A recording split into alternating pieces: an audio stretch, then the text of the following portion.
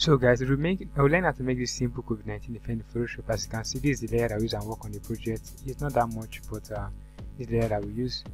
So yeah, I write something like stay home or smile with COVID-19 just to create awareness. So what we'll be doing in this uh, tutorial is just is a very very short one. So I'm going to go ahead and drag the image that I'm using. We have four pieces of image. I'm going to grab the first one. Right, I'm just going to open it into Photoshop. Like so. I'm going to open it in a new folder. That is in a new window rather. I'm going to hold down Alt and double click to unlock the layer. So what I'm going to do next is to grab my pen tool. So I'm going to grab my pen tool then I'm going to zoom in. First of all, find a very good uh, location to cut out. Then I'm going to zoom in. Hold down space and drag. Now when you hold down space, you see something like a palm.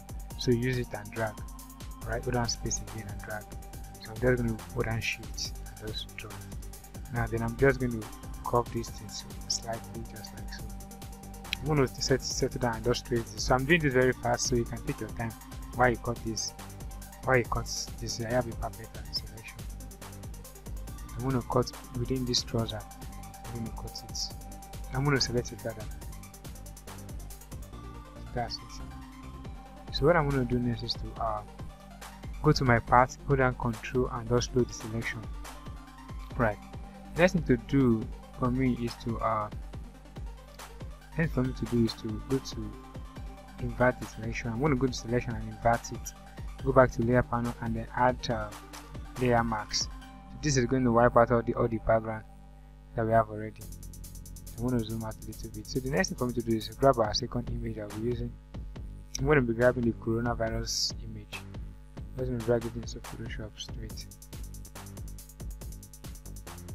Like so. I'm just gonna click here I'm gonna drag it beneath our beneath our first image that we have cut out already.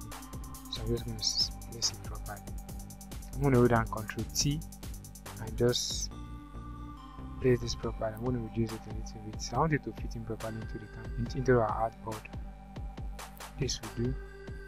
So I'm going to uh, click on my check mark to commit the change. So that's it. So the third thing to do is to uh, we're also going to grab our, our other image. But let's see if this is properly placed. Okay a little bit of adjustment to do. So uh that's it. So the next thing to do is to uh so grab the second image I'll be using. Like the third. I'm grab this one. So i'm going to leave, leave the i'm going to leave the link in the description below so that i get all these images that i'm using in this tutorial. So you can just download the slide so that i can follow along i'm going to click on my check mark here. Right so this this image is this image is going to be very easy to select because we have a complete white background on this image. So it's very easy for us to select. So what i'm going to do here is just to grab my uh, magic wand tool. So you can right click and get your magic wand tool as you can see. So after doing that i'm just going to click on anywhere any part of the image that is the black that is the dark background. So when i click it all, all the images are the the the the, the uh all the part of the image are going to be selected. So then i'm just going to click on uh rasterize. Uh, rasterizing it i'll just click on delete on my keyboard that delete key. And this is going to wipe out all the black area from the image. Like so. The next thing to do is just to place it on our image. I'm going to bring this down. I'm going to place it on top of the, the, the coronavirus icon. Or coronavirus image. I'm going to place it properly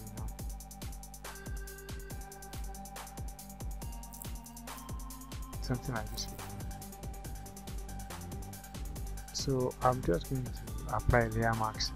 Now applying layer mask, we want to remove those, we want to remove the hand.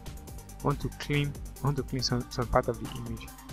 I want to erase it. So I'm going to get my brush tool go back to brush i'm going to shoot uh choose a soft round pressure brush i'm going to collapse that but i'm just going to remove some part of the image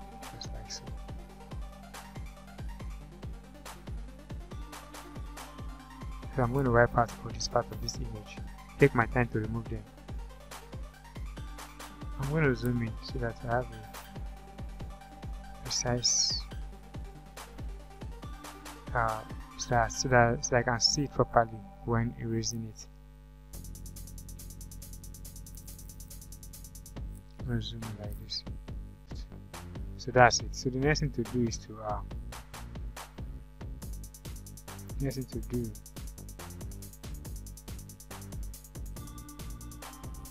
to grab our fourth image. That's for this uh that is this one. We're gonna grab grab this one. I'm gonna place it here. I'm gonna click on my check mark. Now what we just need is just I'm gonna use my lasso tool to just cut just select just cut cut the face. That is the mouth part. So in case I'm wondering I'm, I'm using the lasso tool so you can see lasso tool. I'm gonna right click I'm gonna right click on the image. That is select that is selected part. I'm gonna choose select by the select by copy. So this is gonna copy there on a new part. And I'm going to uncheck the visibility of the first one. So I'm gonna place this right click just like so. I'm gonna reduce this.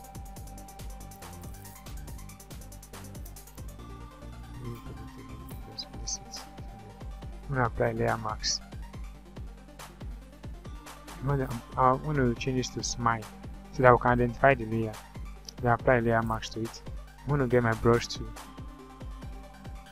I'm just going to wipe out some, some part of the image. Some part, I'm just going to wipe it out. Wipe out some part. Something like so. I'm going to drop this. Okay, so I'm just going to set this properly reduce it.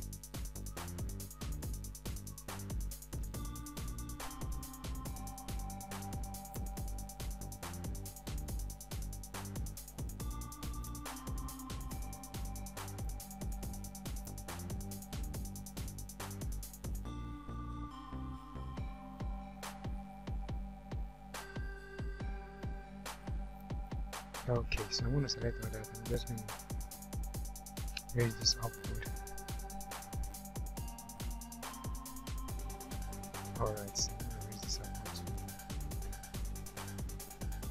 Something like that. Now, what I'm going to do next is to create a new layer. Alright, so we want to apply a glow to that shoe. I'm going to get my pen tool and just select it. I'm just going to create a selection on the sole of the shoe. I'm going to zoom in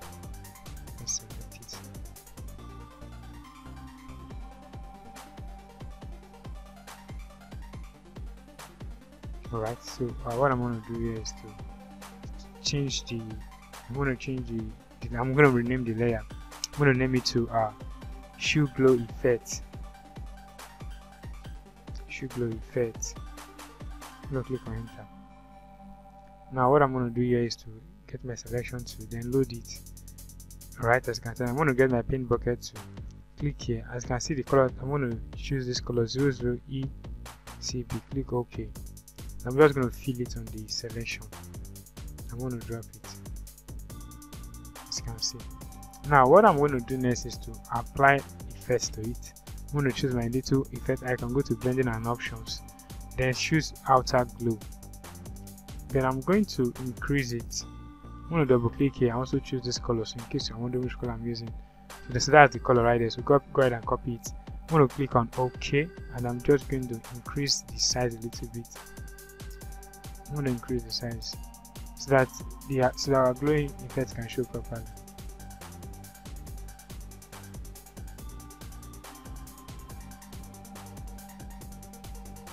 Yeah, something like that. I'm going to go to inner glow so I'm going to increase it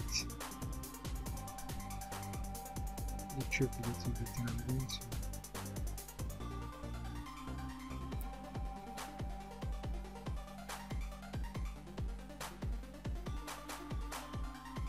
Alright, I'm to go ahead and click OK.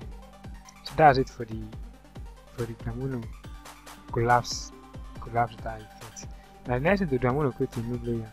I want to apply something like a shadow. Just like a glowing shadow beneath the shoe. So I'm going to write shadow glow effect. Shadow glow effect as the name of the layer so that I can also remember it. Now the next thing to do is just to get my brush tool and just paint beneath. Increase it a little bit. then paint beneath. Make sure that this this color is selected. Click ok. I'm just going to paint paint that paint this part. Alright something like that. Click ok. So i'm going to bring this up here. So that's it. The next thing to do is to uh, change this to uh, multiply now if you change the multiply this is what you get. But I don't want to change the multiply I'm going to put it to normal back so the next thing for me to do is to uh, to convert this into a smart object. So that I can add so that, so that I can add the uh, now I can add a blur to it. So I'm going to convert it into a smart object. And one of the good things of connecting something to a smart object because we can always go back and change the effect. So if something is on smart object I'm going to go back to blur and then Gaussian blur alright so I'm just going to change this. As you can see the as you can see for from our preview area the the listener has changed. As you can see. Look can see this. So I'm going to reduce this.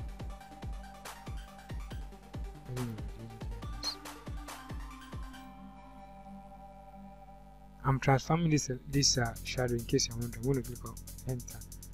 Now, as you can see, if I click on Ctrl T again, I can, I can adjust it again. Yeah, something like that. Right. If I click, if I if I, if I double click my Gaussian blur, I can adjust this the way I want. Click OK. So something like this is fine. Now the, the, the other thing that we can do is that we can apply the other thing we can do is that we can apply uh can apply color lookup to this image so the color changes. So that we have something like a more a more advanced uh, so that, we, have something like a, a more advanced color. So i'm going to choose color lookup. All right i'm just going to go go to i'm going to choose so there are different kind of colors here. So you can choose the one you like. In case the one i'm using is not something you really like so you can choose the one you like. But the one that i'm going to be using is going to be uh, choose the one you like so there are different kind of colors here so i'm going to be choosing choose my drop down color here i'm going to be choosing uh, late sunset. Alright so applying late sunset to see that the initial glow has changed from from cyan to something else. Now if i try to drag this down this color look up down is that it will affect the the shadow. As you can see the shadow is affected if i drag this down again. It also affect this color. That's because the color lookup is beneath those those, those effects. So if i take it up it will also change as you can see right here. So that's one thing i want you to know about this color lookup. I can i can talk with the button check it and you see how it how it really looks like. Okay. So this so so this is it. This is it as you can see. Let me zoom out a bit so that you see. Let me zoom in again. Now if we go back to the previous one this is the previous one that, that, that i showed you and this is the new one this is the previous one and this is the new one. So there's little difference between the two.